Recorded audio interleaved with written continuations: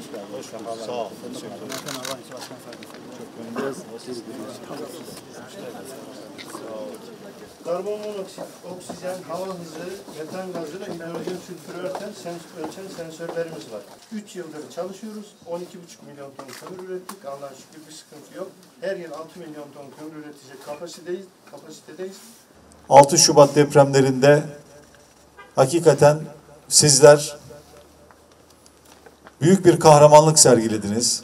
Hepinize bu anlamda teşekkürlerimi sunuyorum. Böyle bir kaza durumunda, bir afet durumunda olaya intikalden oradaki ekip ekipmana kadar bu süreci daha kurumsal, daha verimli hale nasıl getiririz?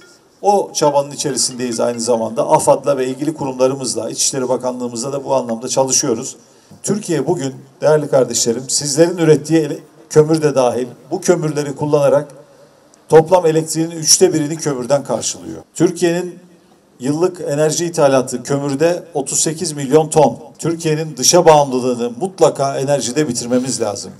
Bizler özellikle yerli kömürümüzü yani bütün AK Parti iktidarları döneminde yerli kömürümüzü kullanmak üzerine kararlılıkla devam ettik, devam ediyoruz. İnşallah devam edeceğiz.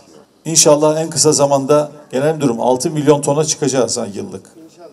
Elbette ki kömürle alakalı birçok şey söyleniyor. Efendim kömürden dünya vazgeçiyor. İşte kömür şöyle kirli, böyle çevreye zararlı.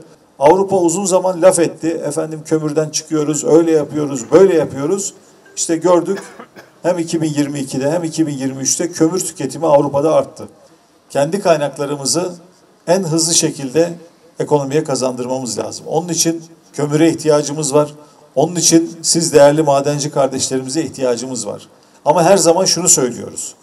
Madende bizim için birinci öncelik, temel öncelik iş sağlığı ve güvenliğidir.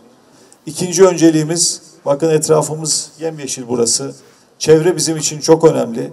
Bu yerli madenlerimizi, kömürümüz başta olmak üzere ekonomiye kazandırırken çevreyle alakalı da etkileri dikkate alarak çevreye zarar vermeden çevreyle birlikte bunları yapabilmemiz lazım.